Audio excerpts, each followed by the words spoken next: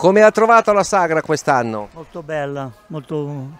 c'è tanta roba, basta comprare che c'è di tutto e di più. È la prima volta, ci sono capitato per caso, ma penso che ci tornerò, sinceramente parlando, perché per adesso mi ha dato un'ottima impressione. Eh, la saga quest'anno è molto bella, è ben organizzata come sempre, c'è sempre il rispetto delle norme Covid e quindi è una- è un'esperienza positiva visitarla. Per lei la sagra quest'anno com'è?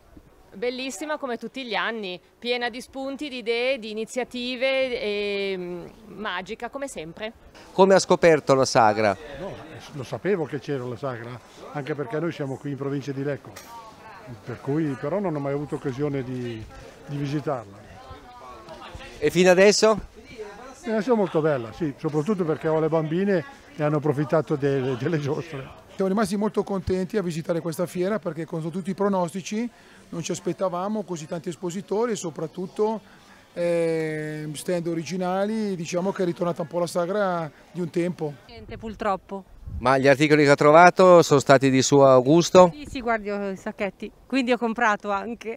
Dicono che non si esce mai a mani vuote. Quello è vero, qualcosa si porta sempre a casa. Finalmente un po' di spazio, un po' di gente in libertà sinceramente, molto, molto ben attrezzata come al solito. Tantissimo, un po' di gente, bella, sì. Ho trovato tutto quello che ho cercato fino adesso, che mi ha soddisfatta, anche il pane, tutto. Sì, sì, tutto bello. Bellissima come tutto il resto degli altri anni, non c'è niente da dire. Organizzata benissimo, sì, bellissima. Cosa ha trovato di sfizioso? Eh, troppe cose, troppe cose sfiziose. Cose da mangiare buonissime, prodotti artigianali, tutto bellissimo.